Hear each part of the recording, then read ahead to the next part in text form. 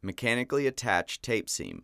Two rows of tape and one row of plates or fasteners. One option to complete a mechanically attached seam incorporates one row of 2 and 3 8 inch seam fastening plates with Weatherbond's HPWX fasteners with a row of Weatherbond's 3 inch wide seam tape on both sides of the fasteners.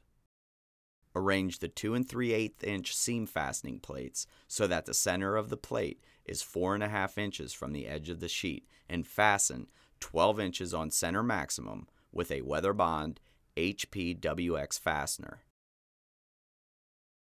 Position the edge of the overlapping top sheet 8.5 inches from the edge of the bottom sheet and mark the edge the entire length of the sheet.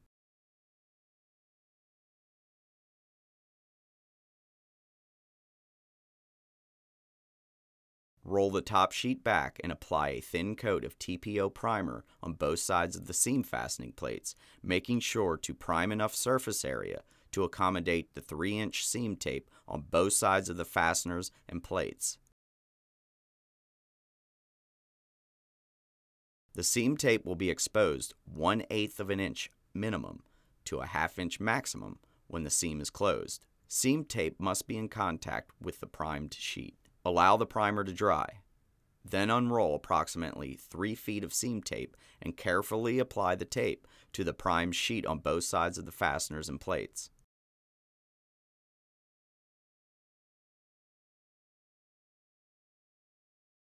Next, apply a thin coat of TPO primer on enough of the sheet to accommodate both areas of seam tape on the bottom sheet. Allow the primer to dry and then close the overlapping seam. Peel off the clear poly starting at the inside of the seam, the edge of the bottom sheet, and apply firm hand pressure towards the outside edge of the seam to remove any trapped air.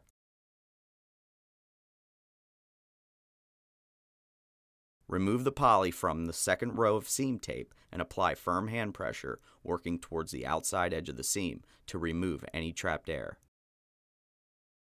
Immediately roll the seam with a 2 inch wide roller. Always roll across the seam. Seam tape should be exposed a minimum of 1 8 inch to a maximum of a half inch when the seam is closed. Install a 6 inch by 6 inch T-joint cover at all T intersections. A bead of lap sealant is required on all seam edges and accessory edges. Lap sealant is also required at all seam tape overlaps.